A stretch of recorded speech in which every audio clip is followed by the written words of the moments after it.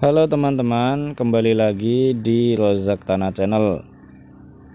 Dan di video kali ini kami akan berbagi tutorial cara menggunakan voucher gratis ongkir di JDID.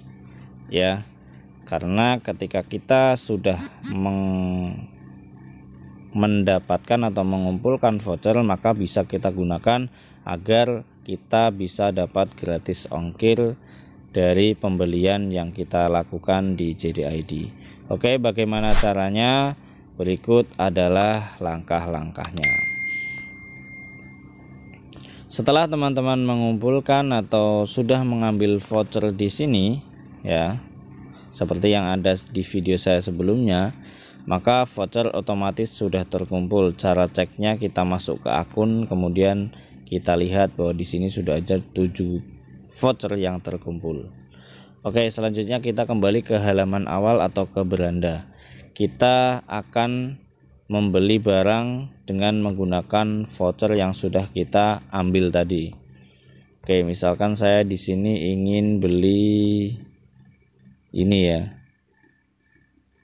Nah, saya ingin beli iPhone misalkan di sini. Oke, saya akan langsung klik beli ini hanya sebagai contoh ya teman-teman ya. Setelah itu langsung saja saya pilih beli sekarang. Saya pilih beli sekarang. Kemudian saya pilih lagi beli sekarang.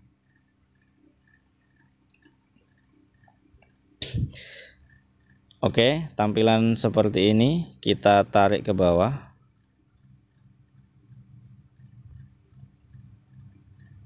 Nah, teman-teman, cara memakai vouchernya atau menggunakan vouchernya ada di mana? Caranya ada di sini.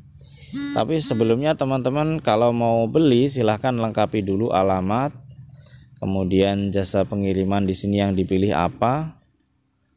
Kemudian apabila ada pesan yang perlu disampaikan kepada penjualnya silahkan tulis di sini. Ya. Kemudian pembayarannya menggunakan apa di sini? Pilihannya banyak ya bisa teman-teman ketuk di sini. Saya fokus kepada voucher tadi. Jadi kita bisa menambahkan voucher dengan mengklik ini. Pakai voucher atau kode voucher. Saya klik. Nah kemudian di sini ada beberapa voucher yang bisa teman-teman gunakan. Saya akan masukkan kode voucher yang sudah saya klaim tadi di sini tempatnya. Nah begini misalkan saya ingin gunakan. Seperti ini teman-teman Nah, tapi di sini voucher tidak memenuhi syarat ketentuan. Jadi memang ada beberapa voucher yang bisa digunakan, ada yang tidak bisa digunakan untuk toko-toko tertentu. Jadi pastikan bahwa teman-teman sudah mengklaim atau mengumpulkan atau mengklik mengambil semua voucher yang ada di menu voucher tadi. Yang jelas setelah teman-teman memasukkan kode voucher dan memasukkan voucher ini, maka teman-teman sudah mendapatkan diskon atau cashback dari voucher tersebut. Kemudian tinggal saja klik lanjutkan di sini. Oke ya teman-teman ya, terima kasih demikian tutorial kali ini semoga bermanfaat. Sampai jumpa di video kami selanjutnya.